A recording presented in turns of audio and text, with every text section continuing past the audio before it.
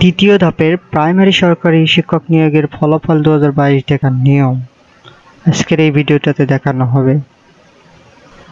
প্রথমে আপনারা আপনাদের গুগল ক্রমের সার্চ অপশনে গিয়ে লিখবেন টিপিই রেজাল্ট লেখার পরে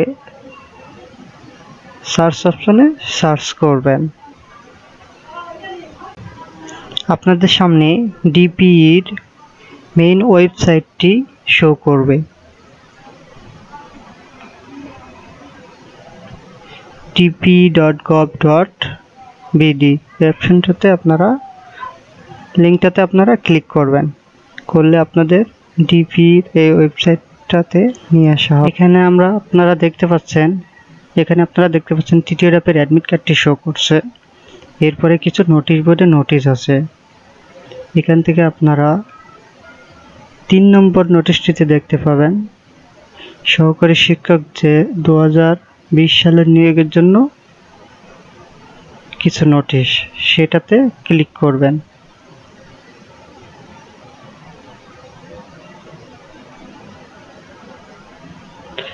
এটাতে ক্লিক করলে আপনাদের অনেকগুলো নোটিশ নিয়ে আসবে।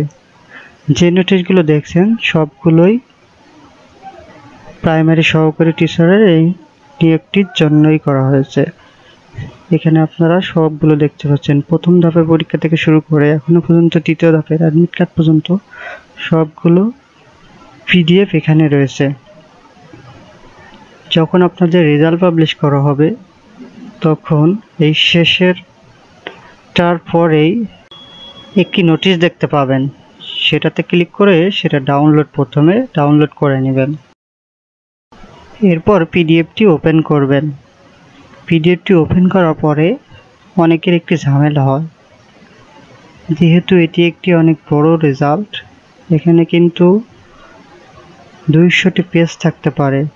প্রথম ধাপে বাইশটি বা বিশ, বাইশটি জেলার রেজাল্ট প্রকাশ করা হয়েছিল। সেখানে দুইশো একটি পেজ হয়েছিল। এখানে এক এক জেলাতে অনেকগুলো প্রার্থী থাকে। যেটা থেকে রেজাল্ট খুঁজে বের করে খুব কষ্টকর। এজন্য শর্টকাটে কীভাবে পিডিএফ থেকে সার্চ দিয়ে রেজাল্ট বের করবেন, সেটা দেখে নিন। আপনাদের কিবোর্ডের কন্ট্রোল প্লাস এফ বাটনটা একসঙ্গে ক্লিক করুন। করলে একটি সার্চ দেওয়ার অপশন চলে আসবে। এখানে গিয়ে আপনি আপনার যে রোলটি সার্চ করতে চান সে রোলটি লেখেন। মনে করেন আমি একটি রোলকে এভাবে সার্চ করছি।